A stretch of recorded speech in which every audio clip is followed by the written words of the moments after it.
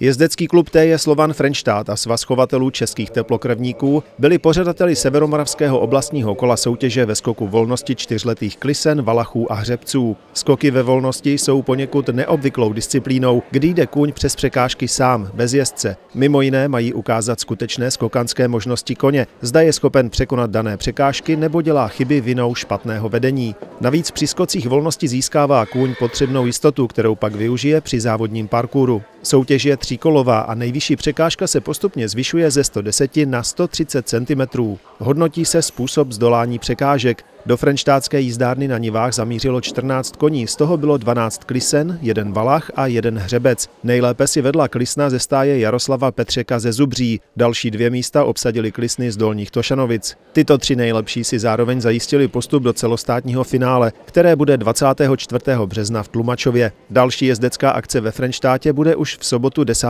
března, kdy je Slovan Frenštát pořádá tradiční pohár žen v parkouru.